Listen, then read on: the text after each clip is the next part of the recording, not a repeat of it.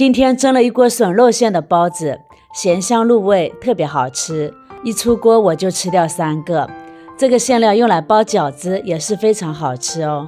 先来准备三百克面粉，加入三克酵母，一小勺白糖，用一百六十五克的温水边倒边搅拌，搅成絮状以后，加入一小勺猪油，把它揉成团，再把它移到案板上揉光滑。面揉光滑了，蒸出来的包子表面才会光滑细腻。然后再盖上保鲜膜，醒发到两倍大。再来准备馅料，把五花肉切成丁，准备一包糯米笋。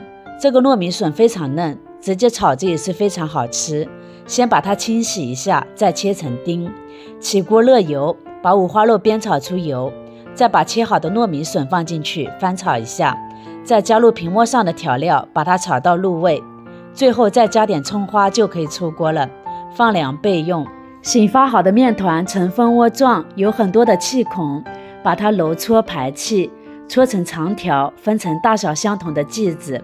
取一个面剂，擀成中间厚、边缘薄的面片，放上馅料，用自己习惯的手法包成包子，只要馅不露出来就可以了。三百克面粉包了十二个，全部都做好就可以开始醒发了。直接放到蒸屉里醒发二十分钟左右，按上去有回弹就可以开始蒸了。水开上锅蒸十二分钟，焖三分钟就可以出锅了。